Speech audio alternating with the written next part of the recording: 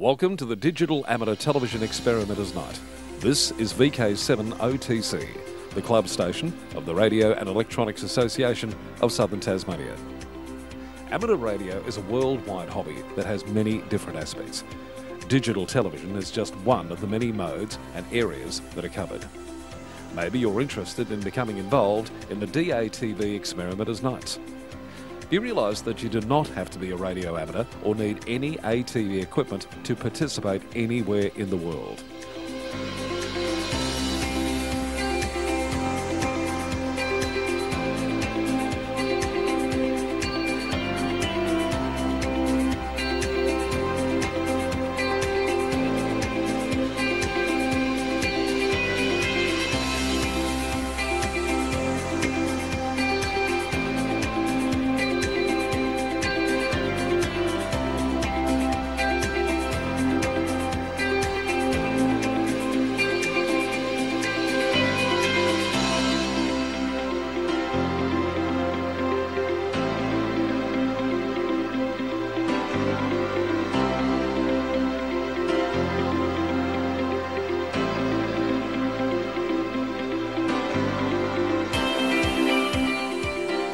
Also participate in the night by coming up to the Queen's Domain club rooms. Yes, right on top of the Queen's Domain in the heritage listed Coast Wireless Station. You never know, we might get you in front of the camera or behind doing one of the many roles during the night. We get underway with our program on a Wednesday night from 7.30pm local time. We'll see you soon. This is VK7 OTC.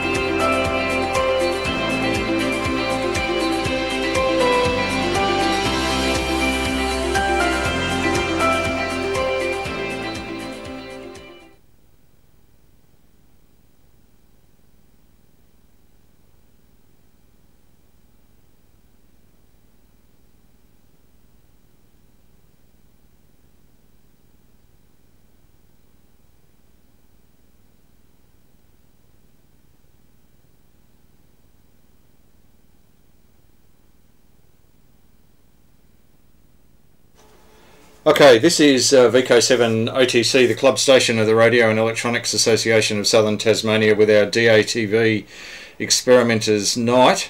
And uh, welcome to our night. Apologies, we get a few minutes uh, a few minutes late. We'll just start off with uh, acknowledgement to country uh, in recognition of the deep history and culture of this island.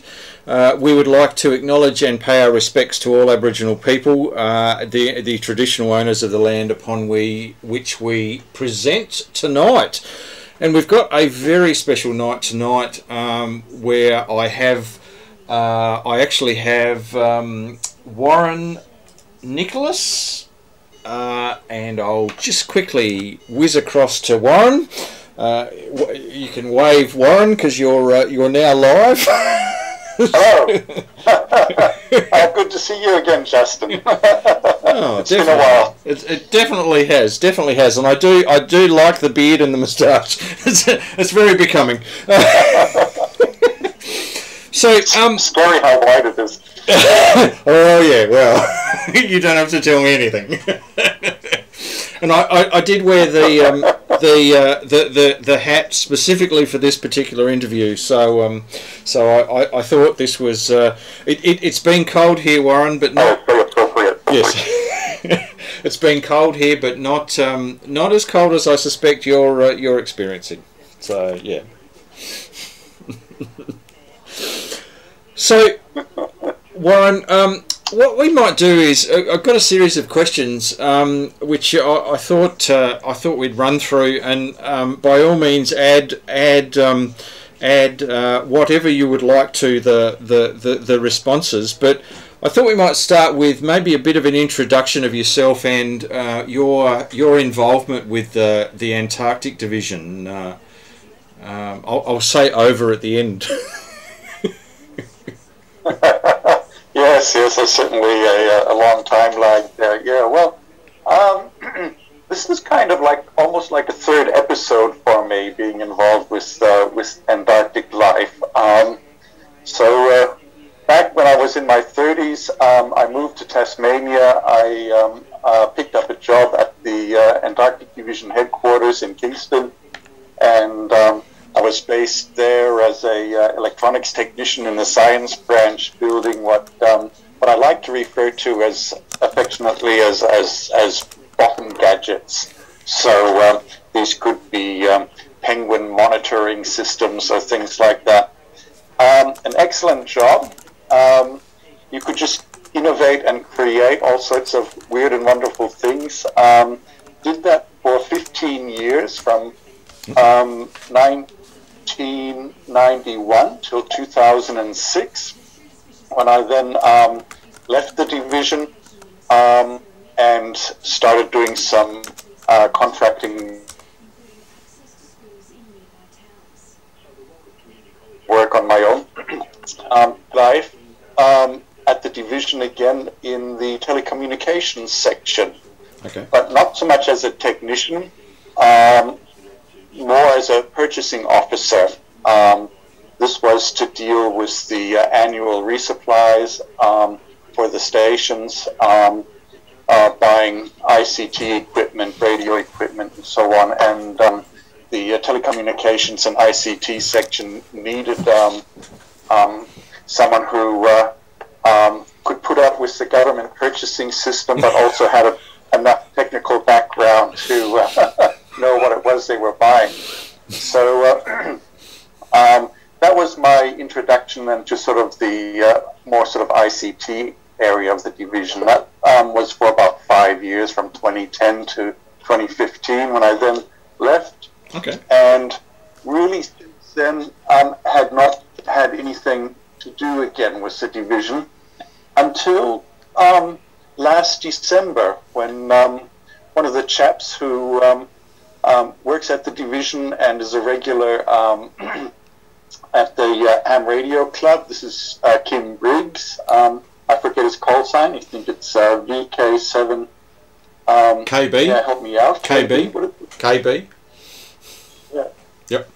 So Kim said, "Oh, Warren, um, we uh, we need to uh, urgently find two techs for Casey Station. Um, we've been unlucky, and uh, there's a last minute drive to uh, um, to recruit to um, very urgently." And uh, he encouraged me, so I put my application in. Um, I think it was uh, listed online on the AAD website for about one week. Um, the deadline was uh, midnight Sunday night, and I kind of uploaded my resume and application sort of in the 11th hour, so to speak, on a Sunday night. And the very next day, on Monday, um, the division rings me up and says, Oh, Warren, um, you've uh, applied for this KP job. Can you come in for an interview tomorrow? And I'm going, Whoa, hang on, hang on. I need to think about this a little bit. So, um, yeah, so I went in for the interview, and um, yes, the rest is history. Here I am. Like, so, so that that's a good segue, Warren, into your. So, what what is your actual role? Um, what what what are you like? What, what describe to me a, a day in the life of Warren at Casey Station? you know.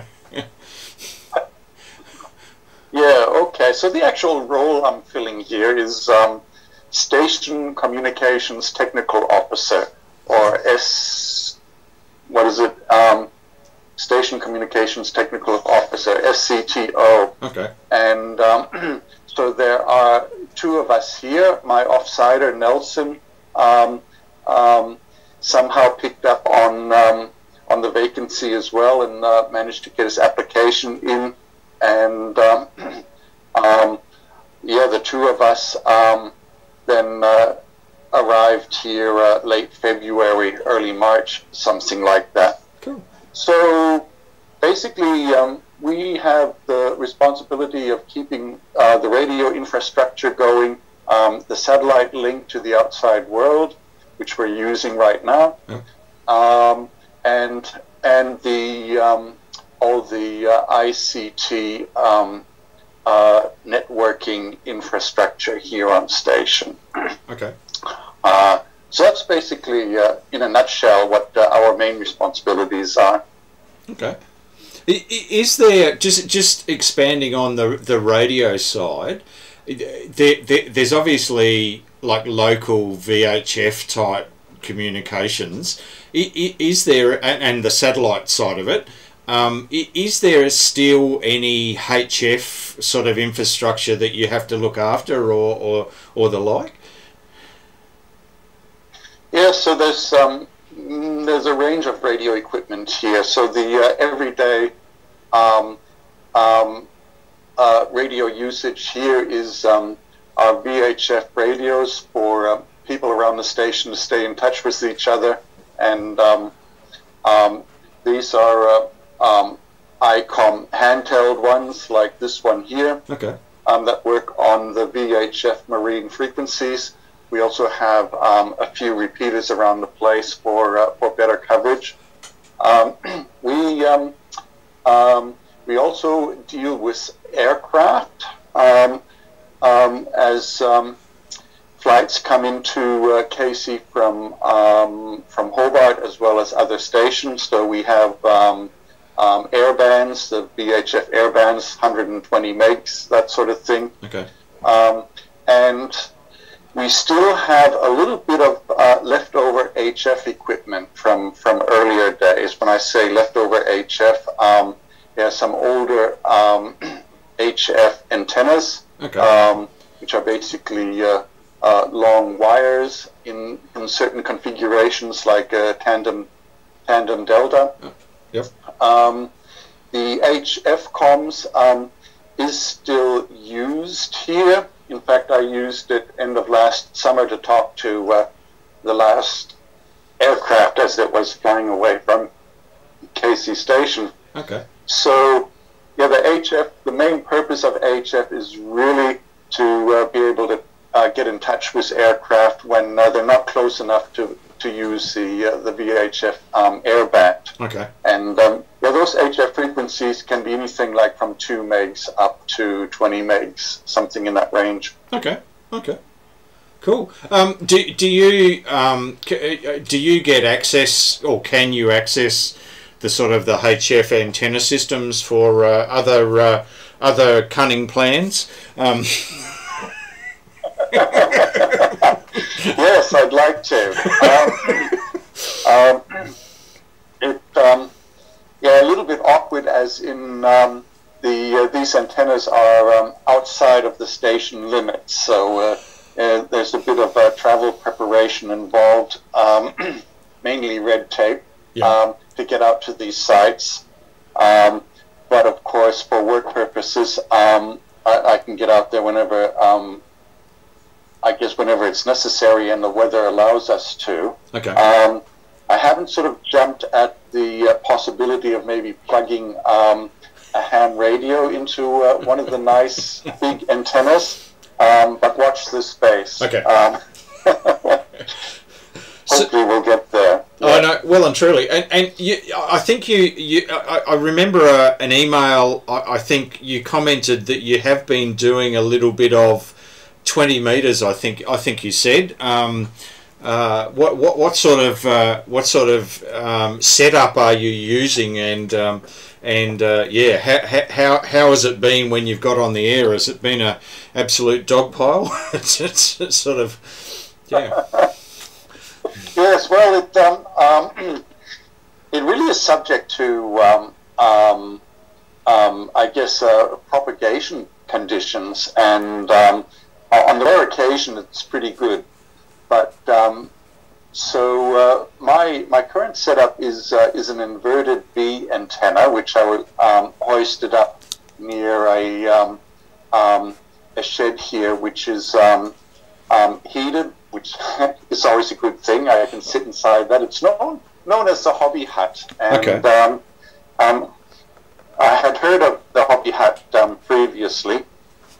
Anyways, um, so the hobby hut is is a um, um, is a space where um, people can um, um, do crafty things uh, for recreational purposes okay. rather than being a, a trades workshop full on. Cool. And um, so it's ideal, at least over winter, for me to uh, to set up my ham shack. even has sort of a, a conduit a penetration in the wall so I can get uh, an antenna feed to the outside, cool. which is always uh, um, necessary. Mm. and the inverted V is um, um, holding up so far pretty well. At least the latest one is. I'm using a, a bamboo cane, Okay. which are readily available here because we use them inland to um, stake out uh, the travel routes for um, traveling uh, around inland. Okay. Um, and um, so, yes, an inverted V, um, which is um, resonant at 20 meters. Okay. Um, so that's why I'm kind of locked into the 20 meter band at the moment. Um, I would like to work other bands, particularly um, 40 and 80, but um, um, it does turn out that there's a lot of QRM, local QRM from the uh, infrastructure here. Um, this is noise, um, a combination of things. Um, the powerhouse is nearby with um, um, several generators. Uh, we have ring main units, um, electronic controllers. Um, yeah, so there are artifacts um, to be found um, throughout the uh, 40 and 80 meter bands, whereas the 20 meter band um, is not, not so badly affected. So for the 20 meter band only. Okay. Okay. Um, yeah, and then when I when uh, when I do get a chance, so the 20 meter band to uh, perform best during um, um, during the middle of the day. So I have a one hour lunch break, and um, um, um, almost every day, at least usually every second day or so, I'll uh, I'll go into the um, into the hobby hut and see what the propagation is like, and uh, um, typically I can pick up Australian stations very easily. So I've worked um, a number of Australian stations, even uh, multiple times. New Zealand as well. Okay. Fantastic. Um, it's interesting when uh, when you can get out to uh, to the states or or or Europe.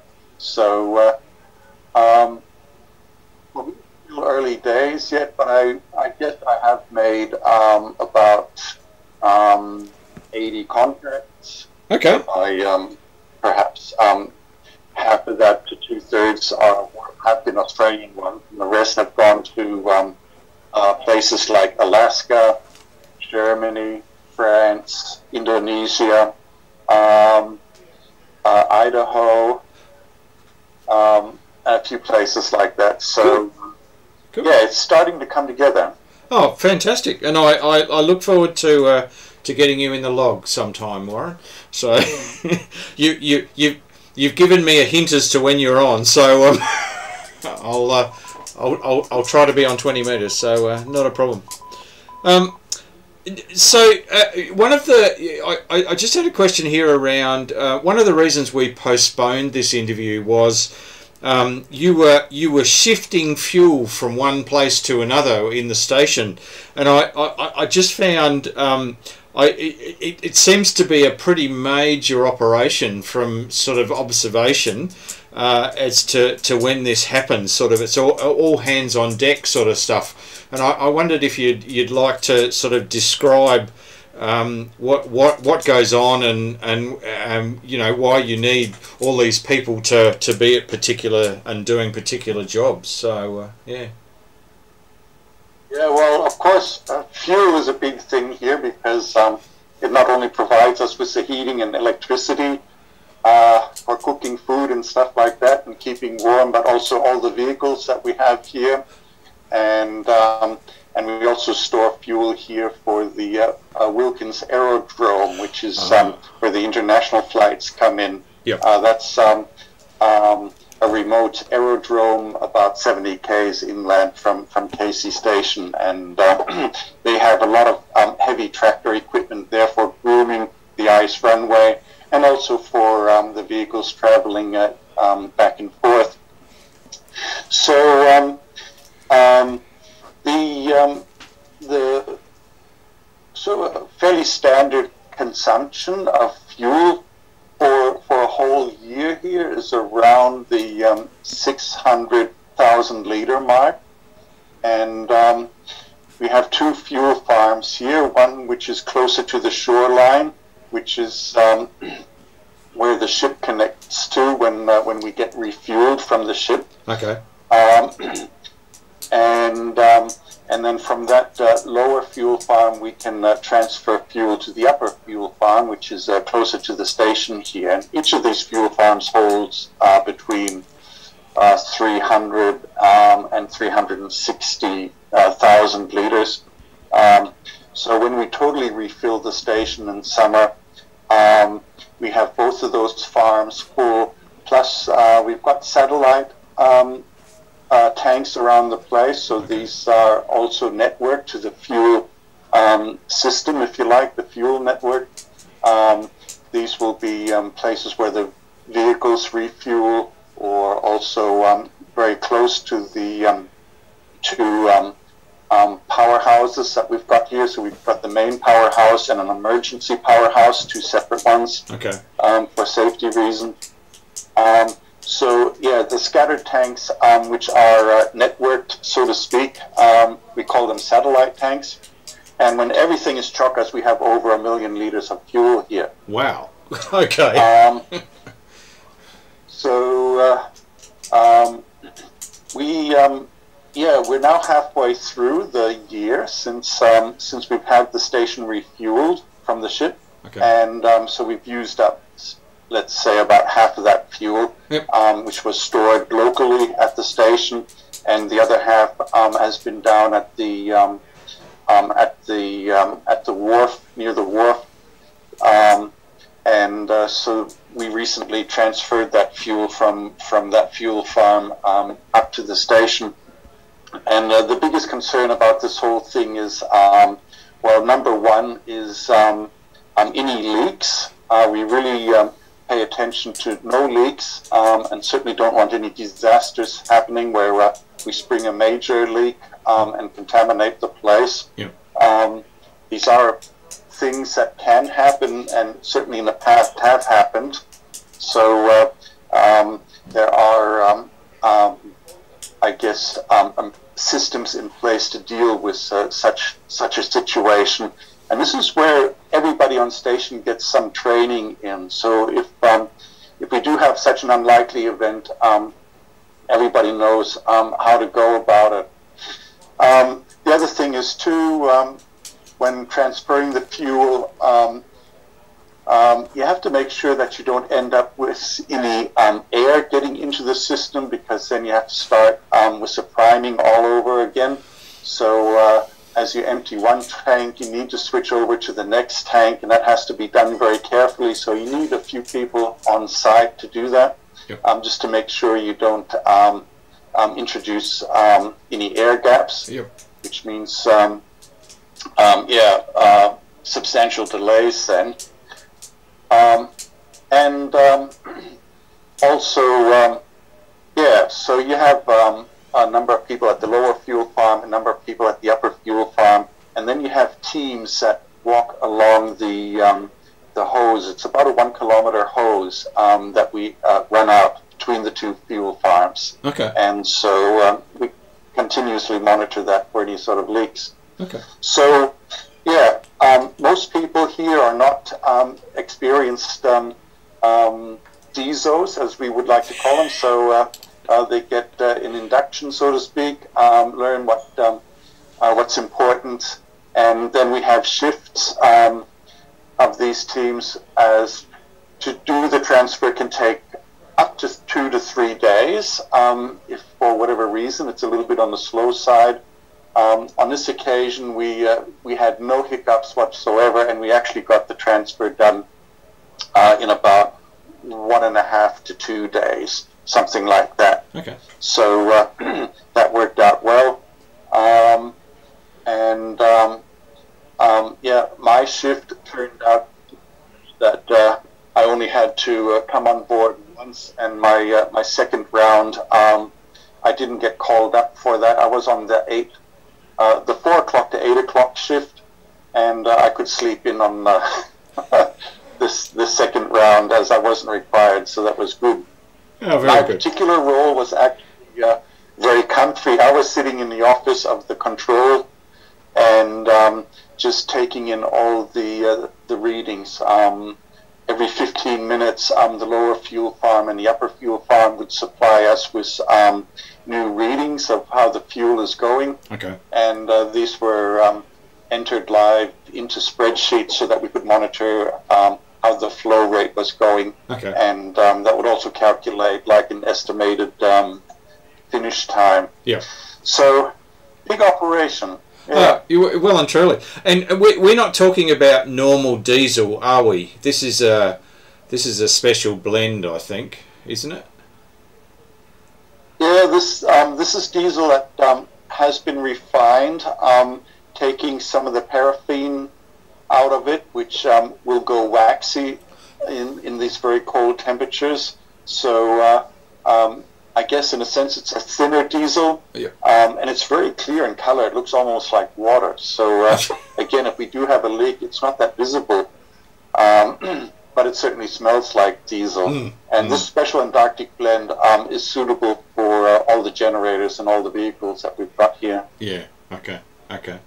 Um, we, we've got a we, we've got a few people who uh, are, are online and, and watching right at the moment, as well as a a, um, a club rooms full of people out here who are all watching as well. You on the big screen, um, but uh, Anthony uh, Anthony Goggins here asks. Um, uh, first of all, how long are you down there for, and uh, what's the food like?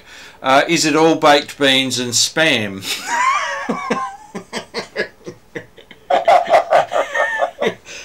Um, excellent question. No, it. Um, so I'm.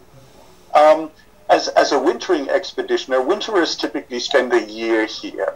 Um, but um, because of this late recruitment, um, um, I came in at the very end of summer, and um, um, it was planned, or was it looked like the uh, this uh, uh, engagement was strictly for the winter season only, so I could be out at the um, earlier part of next summer. So um, I might be here for uh, just a minimum of, of eight months. Okay. Um, uh, so that's uh, that's the minimum I'll be here for. But um, um, we'll just see what the summer brings. Yeah. Whether um, there's um, um, requirement for me to uh, to stay on longer or not, which I'm, I'm quite prepared to do. Okay. But um, yeah, um, I um, I have spent um, a few summers down south before in my um, uh, initial uh, engagement with the Antarctic Division. Okay. Uh, but um, uh, winters is a completely different kettle of fish. So uh, the high population disappears, and um, once that last ship goes or the last flight, you look around and you see the people that you're going to be living with for a longer period of time, and you think, okay, well, this is us, and there's no more getting out of this place anymore either. Right. So okay. that's that's that's a pretty unique experience um, as a winterer. Yep. Um, the, the smaller number of people, and um, um, so we actually, um, by the time I got here, when I got here in summer, we were about 70 people, and we're now down to 30. Yeah. Okay. Um, 30 is actually a large number and is, in fact, the largest wintering crew that uh, Australia has ever had in the Antarctic. So um, um, other stations may typically be between uh, 15 and 25 expeditioners uh, over winter. yeah. Okay. Uh, but, um, yeah, the station is quite large, so um, look, there, there actually there have been a few people I haven't actually seen now for a couple of days. I sort of think, where are they? Well, there Um, you go. Usually, you get to see them during um, during meals, but um, if they uh, are doing shift work like meteorology or so, then uh, you might um, miss each other uh, on regular regular um, uh, periods. Okay. Um, yeah, and talking about meals, look, the food here, shocking. Um, Yeah. like Right. they're, they're not on the uh, scales. So we have a chef here, um, and um, even though he works only a 40 hour a week, so uh, that could be, you know, his normal days might be a bit long, and then therefore he periods off. So uh, uh, that's when we need to fend for ourselves. But um, Okay. no, on a whole, the food is excellent here, and um, I think a, a lot of um, experience has gone into keeping uh, fresh food as long as possible, um, such as eggs. Um, we still have apples. Um, months now, months and months since the last flight, we still have fresh apples. I think the citrus fruit, like the oranges, I think they've um, um, they've been used up now. Okay. Um, and um, so uh, vegetables and stuff like that. Um, yeah, uh, a lot of the stuff um, is is frozen. Okay. Um, meals like look for for evening dinner. There's usually um, a variety of things. Um, let me think. What was there last night? I think there was some sort of chops as well as some sort of chicken, um, baked potatoes, and some uh, steamed vegetable. Um, but we also um, have um, um, vegetarian and vegan food available. Okay. Um, and um, uh, yeah, it must be good because our uh, vegetarians and, and vegan, uh, they get stuck into it and seem to really enjoy it. Oh, there you go. I love yeah, it. so there's plenty of food and it's good quality. Okay. Um, some of the um, some of the novel uh, novel sort of fun things that that uh, that uh, that you uh, you get up to uh, uh, that you'd like to you, you're prepared to share with us, Warren. Yeah, well, um, um, I guess one of the things that um, um, I've noticed now in winter, uh, we've got uh, a constant layer of snow or ice outside. Uh, when there's been snowfall, um, then uh, sort of the uh, the large and the small um, um, bulldozers are there, um, kind of um, clearing the path a little bit. Anyway, shoes are always clean. The boots there's no dirt on the floors. That's uh, that's that's pretty unique. Um, I, I do like that. Uh, the other thing which is um, interesting is as as we headed into winter and uh, the sun was getting lower and lower, um, you have these extremely long um, twilights, if you like. Uh, sunrise is a very slow process. Then when the sun is finally up, um, it doesn't actually go very high. It sort of cruises horizontal to the horizon, Yeah. and then it starts going down again. So, um, yeah, the official daylight hours might only be um, like two to three hours at the moment, Yeah. but they are getting shorter as we speak. But the twilight is, is quite extended. Yeah. And um, um, as you know, um, we've just had a full moon. In fact, it was a what do you call it? Um, a um, king Mm, moon. okay. Okay. I, I, I, I did see some Uh, very nice photos. So uh, yes. The, what what was unique was um, uh, the moon has a very wobbly orbit, so it can be that um, when the you know it's not exactly opposite the sun. Um, the sun can be elevated, and the moon can be elevated. And uh, it struck me yesterday while the sun was up above the horizon, I could see the full moon, which was also above the horizon. I mean, both were uh, in opposite directions and very low above the horizon, but yes, you could see both at once, which I thought, hang on, what's going on here? So I had to work that one out. I love it. Um, that was pretty pretty unique, Cool. absolutely. Cool. And um, yeah, uh, what else can I uh, what can I mention? Well, Endless supply of chocolate here. oh, that's not good for the waistline. um, so, it, it, Warren, we, we're counting down because we've only got three three minutes forty five to go before we, we the the the the, uh, the Zoom link drops out. Uh, so I'll I'll, I'll, okay. I'll finish up with um, what what sort of uh, final comments um, final comments from yourself to the to the club to to whoever. So uh, over to you.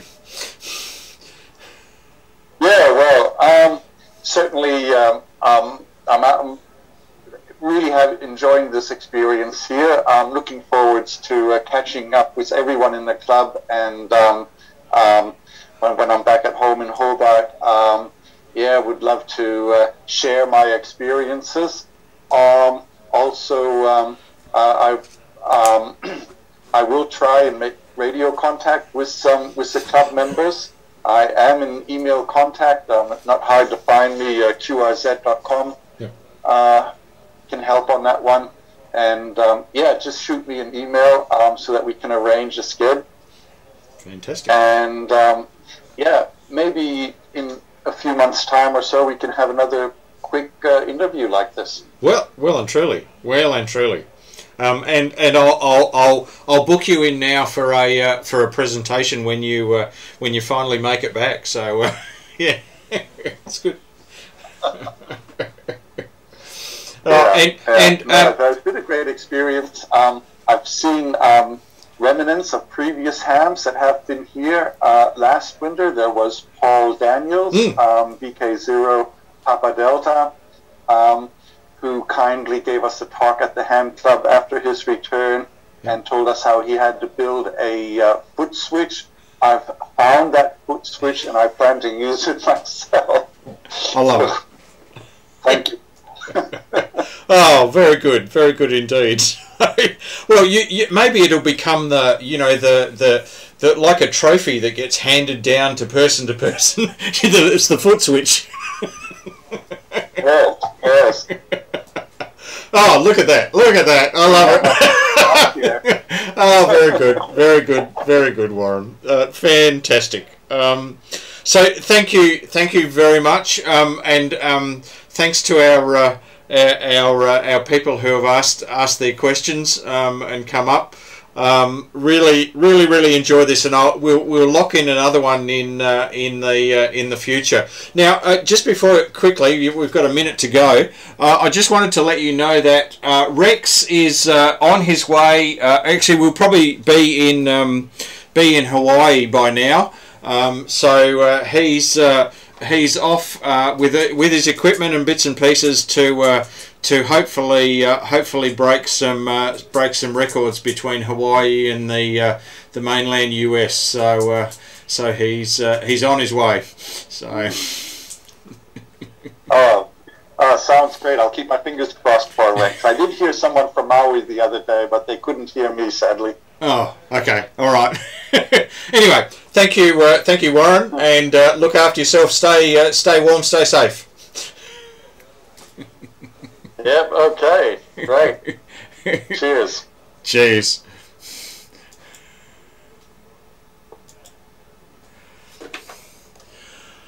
All right, that was uh, that was uh, Warren VK zero uh, whiskey November uh, and VK seven whiskey November, um, and a, a fantastic uh, fantastic interview uh, from from Casey Station, uh, and I just I'm blown away by the fact we can we can have a Zoom session with Casey Station. Um, that is just uh, off the off the show. So uh, so there you go. Absolutely love it. Um, all right, uh, now um, the uh, the next bit of the program, um, I, I have been banging on about, um, absolutely banging on about um, about um, crystal radios.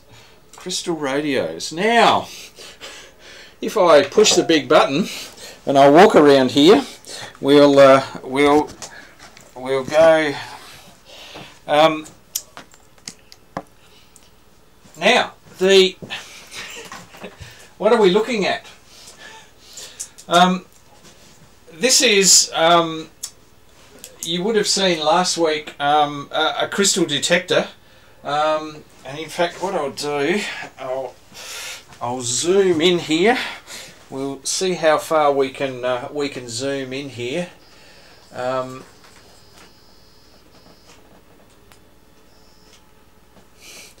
and a bit of focus. Okay, so the crystal detector has um, has shrunk a little bit. you notice there's a, uh, a holder, a brass holder here. Uh, there is a smaller crystal, uh, galena crystal in here. and then there is a little arm that uh, has uh, what looks like a safety pin. That's because it is a safety pin. Uh, that is the uh, the cat's whisker, if you like, that is touching the the crystal and uh, uh, creating the diode effect that enables us to to get rectify the audio off the RF. Um, there is there is as I zoom out. No, other way, Justin. Um, as I zoom out, you'll notice, um, and a bit of focus, that'll do. Um, there is a, a coil, uh, now this is uh, antenna matching, uh, antenna matching coil. Um, on the, this is about a 1920s to 30s design, so a little bit they, they'd realised that a little bit more advanced and they could match the impedance with a with an antenna coil. So this goes off to the antenna and I've got it hooked up to the uh, the club dipole. And then there is a, uh, a, a, a, much uh, a much longer coil uh, much more uh, inductance in here with a tap off at about a third the way through that coil.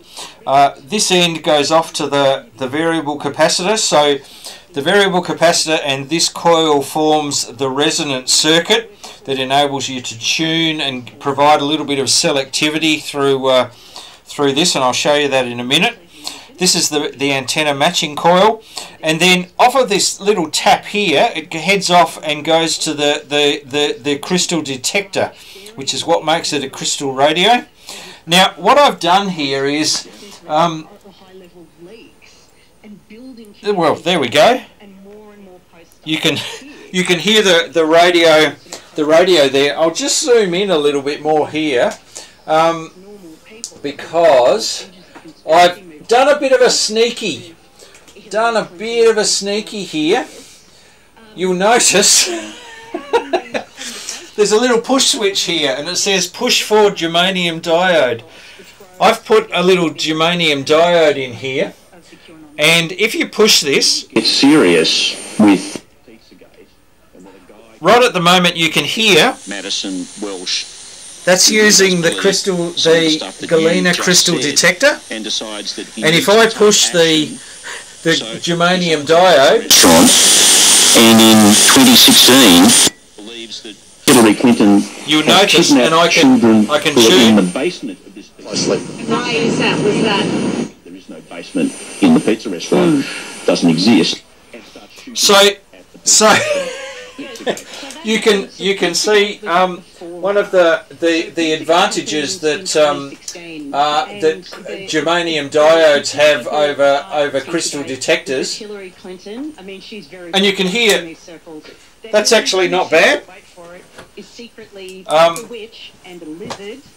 I, I, but one of the things I'm going to demonstrate is it's very easy uh, to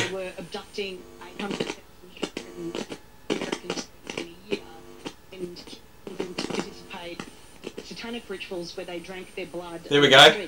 And yeah, I mean, it is complete. This is not a thing. That is New South Wales Energy Minister Matt Kean yes, I don't think that's changed. It, it's not that I had a Right, 407 metres, late scratching seven roses memory.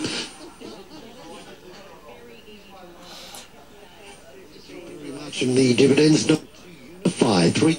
I remember um, someone who, I was talking to a composer who said to me, the British government insists it won't change its immigration. In 2016, part of the disinformation. So, um, so that's a crystal radio. Now, you would normally have a set of high impedance headphones. I, have got a powered speaker here. Um, so that you can actually hear what's going on. Life hasn't gone in really great and, direction. And what's coming out. So, um, but that's um, that's the crystal detector, um, and the the using a galena, which is a, a lead sulfide crystal, cubic crystal. Um, and I've also put a little um, germanium diode in here. I spent a year with these just to uh, to show you the the uh, the advantages of a of a um, an actual diode, uh, germanium diode. Um, but uh, anyway, that's the uh, the development of the crystal radio, and I've got a, a, little bit more playing to do with the uh, the crystal detector uh, because it is it is quite um, touchy. Hello, Kim. We can only hear the left channel. Ah, dear, oh dear. Everyone's a comedian. Um, was eating babies in, and there was no. There we go. Shot up the restaurant, was arrested, did four years in prison. And my friend came out of the bookstore and saw all the cops everywhere, and the guy was slurring Yeah, there's a lot of polishing in poetry, isn't there? It's. Oh, I mean, not for every poet. So, anyway, that's. And literally, um, there is no power here no power at all. I, have got a powered speaker here, but that's separate to the whole thing. There is no power here.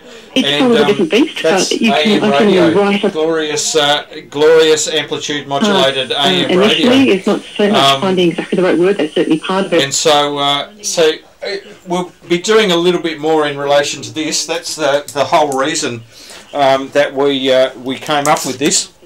Now, what I will do is I'll just show you the design that I that, that I ended up using um, is uh, now just bear with me. Let me just and I'll switch that off so that it's um, um, we don't have glorious AM in the background. Um, uh, let me just so the that is the now let me. This is the Allied Knight um, kit that was produced um, produced uh, back in the. I don't think there's a date on this actually. 1954. 1954 or 56, one or the other. And this is the this is the design. Uh, this is the layout that they they produce. Uh, the actual um, the actual schematic is on the back. So very simple. Um, it is it is. Um, let me get a pen. Uh, your antenna, your antenna matching coil, uh, which is the small 20 turns uh, winding on the one and a half inch uh, former. Then this is 110 uh, or I've 94 because I used a different type of wire but it's around 100 turns uh, at about 30 turns. So about third the way along is what goes off to your detector. This is uh, this is if you like that's the germanium diode or the uh, the galenium detector. And then off the end of the uh, the, the tuning coil uh, through a variable capacitor uh, which you know gives you your tuning and your selectivity. You can then tune that. The signal comes out here um, and there is a transformer effect here, so it is actually a, a reasonably uh, boosted signal just here, uh, rectified by the, the diode out through the high impedance headphones, and that's that's your crystal set. Um, this this particular design was used was used by a, a, whole range of people. Um, this is uh, all built into a nice little cigar box, uh, so you could uh, you could uh, uh, take it with you. Um, so similar, very similar design, um, drawn slightly differently, um, uh, but but all all all the the the same the same theory and idea behind it. So so yeah, and that's uh, that's come from a magazine in 1949. So uh, so there you go. Um, but anyway, so that's uh, that's the um, the the design of the uh, the crystal. Um, uh, let me go to here. So that's what that design looks like in uh, in real life. So, uh, so there you go. So, um, now um, I'll, I'll just show you uh, where this actually started. Um, where this actually started was uh, there was a wonderful little design that used a pencil. Um, and this particular design does work. Um, I, I have did have this uh, this working on the bench. Um, so um, me zoom out here a little bit. There we go.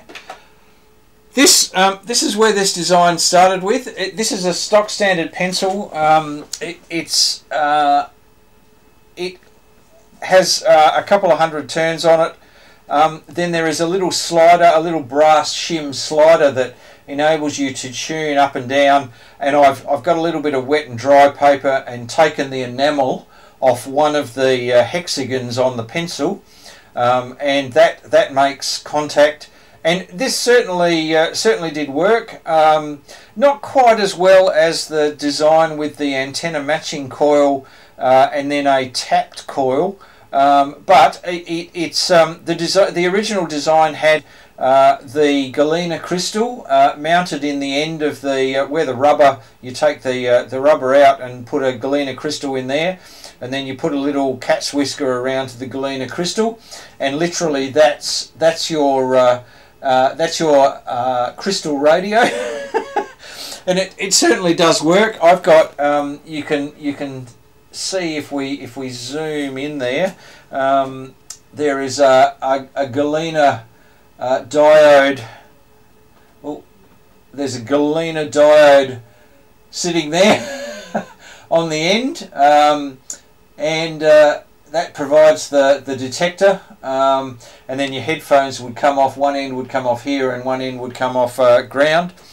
And uh, that's uh, that's a, a, pencil crystal set which certainly works. Not quite as well as the. Um, you, you, do need a good ground and a very good antenna uh, for that particular uh, that particular uh, uh crystal set. But uh, this one, as you heard, works a an an absolute treat. So so there you there you go.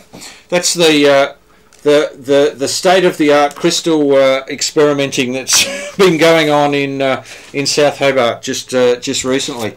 Now, Amateur Radio Magazine. Uh, the the magazine comes out every two months from the uh, peak body, the Wireless Institute of Australia. Uh, this is the latest. This is volume 90, number three. we went through a few um, a few articles there um, last week. Uh, we'll go through a few more, uh, few more this week. Um, the one of the uh, the ones which is uh, uh, very uh, very close to to my heart um, is um, the. We'll zoom all the way out here. Um, building a automatic tuner for a magnetic loop antenna. Now that magnetic loop antenna is the um, the PEX pipe so the gas pipe that uh, designed with the trombone, uh, the trombone uh, matching capacitor here uh, by uh, Jim Tregellas, VK5JST, and um, John Forrest, VK3JNF, who's the author of this. That's uh, that's his his antenna. Has come up with a an Arduino. Um, I think it's Arduino. I'm pretty sure it's Arduino uh, automatic controller that controls the uh, uh, the the trombone capacitor to do the matching. Um, here's his little here's his uh, Stockton bridge, uh, SWR bridge uh, that sits up, I assume, up in the up in the the magnetic loop, and then it comes down to the control box, which and he talks about the the programming the little display on it that uh, shows what it's uh, what it's doing. Uh, stepping through SWR tune, SWR tune success, uh, and uh, yeah, it takes you through uh, how we put it, that together and how it actually works. Um, care and feeding of long loop Yagis by, for best return loss. Now this is by very famous um, microwave experimenter Doug Friend, VK4OE, who is a huge contributor to uh, GippsTech. Uh, and he talks about his uh, his loop yagis and the care and feeding of loop yagis, which is a, a great article. Um, uh, a bit more there. Um, ah, we've got uh, some silent key notices, and one is uh, uh, from about Harvey Skeg VK7HK. So so that's a, a, bit of a VK7 connection. Now, um, antenna modelling using 4NEC2, uh, which is a uh, freeware uh, antenna modelling um, um, package, and how to uh, how to use it. This is part one, uh, and goes through setting up the the antennas in the in the system, and what you can use 4NEC2 to to do, and then model model radiation patterns and all sorts of stuff. Um, now over to you. Uh, that's uh, that's uh, letters to the editor effectively, and then the AQZ, uh, the VK3 AQZ, Louis Di Stefano, um, wide range RF power meter part two. So this is the uh, the second bit of the uh, the the RF power meter article that was started in the the last edition. So so yeah, that's um, that's that's AR Magazine, the latest. Um, also, um, comments on uh, mitigating uh, amateur radio interference to VDSL2, uh, published by NBN Co. And uh, this is an article by Phil Wait and Dale Hughes, uh, which is, uh, I, I, think the summary of this particular article is. Um, the NBN article is found wanting, is probably a, a, diplomatic way of putting it, and some comments around that. Uh, David Minchin VK5KK, uh, the VHF UHF expanding world, and all about 122 uh, 122 gigahertz um, uh, uh, feeds uh, for dishes and 3D printing of them. Um, this is a very nice polished Cassegrain dish for 122 gigahertz, very high precision material. Uh, this is the, the VK5 uh, KK 122 gig um, uh, transverter. Um, Meteor scatter report by uh, Kevin Johnson, another uh, another enthusiastic uh, microwaver. Dr. Kevin Johnson, VK4UH, and talking about meteor scatter. He does the meteor scatter um, uh, column each uh, each week. Newcomer's Notebook, uh, diodes, uh, the electronic non-return valve, uh, which is uh, we we experienced the germanium diode in the in the crystal set just then. So so yeah, um, and Alara, of course, the Alara column by Jenny Wardrop, VK3WQ. Um, and the Alara VK3 Alara lunch. Um, uh, book review, uh, but the Flying Doctor story, uh, 1928 to 1978. Uh, review of the uh, the Michael Page book by uh, Brian Clark, VK2 GCE. Um, actually, there's a wonderful, wonderful picture here of Alf Traeger, who came up with the with the Flying Doctor radio and he this this is a uh, a, a, foot operated generator. So you pedal the uh, the generator to uh, to power the uh, power the valve radio. Um, technical correspondence ham ads and uh, that's our uh, and of course the obligatory advertising. So that's amateur radio magazine number 90 volume 90 number 3 so so that's that's amateur, our latest amateur radio magazine. Uh, very quickly, in uh, in summary, uh, this comes as part of your uh, membership. Uh, you can get it in hard copy form or in digital form as a, a membership um, uh, of the Wireless Institute of Australia, which I encourage encourage all people to to do and support our local body. Um, now, I, I finish off on a very sad note here. Um, I, I, uh, hang on, hang on. I really do need to put a rope on that mouse because it disappears down underneath. Um, but uh, I, I, I'll finish with a, a little bit of a sad note because um, one of the uh, my 160 meter um, my 160 meter uh, antenna. With the big blow of 2022, the big blow of 2022 ended up um, with my 160 meter antenna on the ground. Uh, I had three um, three guy wires sitting off of this, which were also the uh, formed the capacitive cap. Uh, now two of the guy wires broke, which meant uh, there were there were no um, guy wires in two places, and of course the uh, antenna fell over. Um, the bottom of the antenna, which connects to the vertical, the six meter vertical, um, cracked out, absolutely smashed all of this, uh, smashed all the way up into uh, into this fitting up here. Uh, so there's a big crack uh, through here, um, and uh, the base of the vertical, which had a spike in it. Uh, that's the spike just there. it was held in originally with three screws, which all sheared off. so um, so a bit of a sad uh, sad state for uh, for the uh, the 160 meter vertical, uh, which was performing wonderfully and receiving US uh, stations, but uh, yeah, it's not receiving anything right at the moment because it's pulled apart, awaiting repair. So that's the that's the story. that's the story there. Oh, and there's there's the um, the the crystal set. Um, so that's that's a sad note to finish off on. Um, now, next week, a big reminder. Uh, next week is Kim Briggs, uh, VK7KB, who um, who uh, Warren mentioned.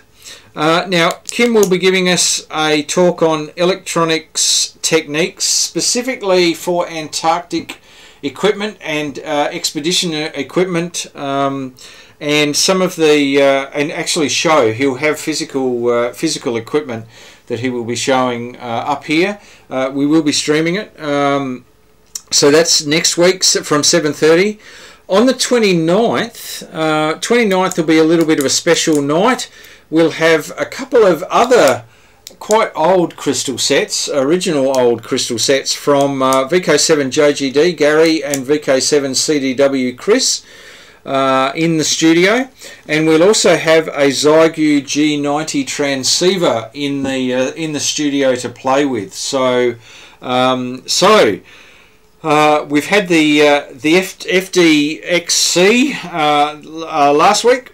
Um, we've had a 705 we've had an 897 we've had an 817 um, so uh, we will have a, uh, a Xiegu G90 uh, in the studio with the little um, platform that goes on uh, with the cooling fan and everything in it. So um, so that's uh, that's in two weeks' time on the 29th of June. Uh, and a big shout out we we you would have seen if you're on Facebook. we have a fox hunt on the 23rd I think it's the 23rd of um, July up here from 9.30am and we also have uh, in July on July the 15th I think it is uh, it'll be the ham radio trivia night uh, that we will be broadcasting. It'll be an online hybrid event. So uh, uh, you can uh, you can participate either by being up here or being online. And it's a ham radio trivia night. So looking forward to that. Um, and what what uh, Hayden VK7HH from Ham Radio DX fame uh, has in store for us. So that's our program for tonight. A huge thank you to Warren um, and others who have contributed to uh, tonight, and we'll catch you in a fortnight's time and see you up here for the uh, for the Kim Briggs presentation next week. Uh, 73, and uh, we'll catch you uh, next in a fortnight's time. Cheers.